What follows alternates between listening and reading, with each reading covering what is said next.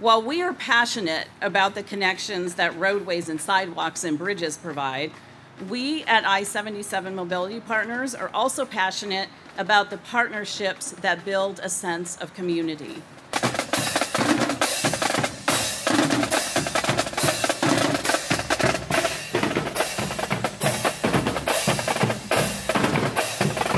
People will not remember what you do. People will not remember what you say, but they will remember how you made them feel. So today, I reach out and say, I feel the leadership in this community.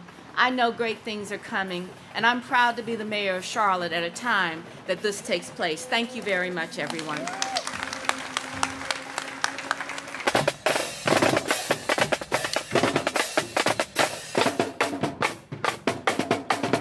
One, two, three, unveil it!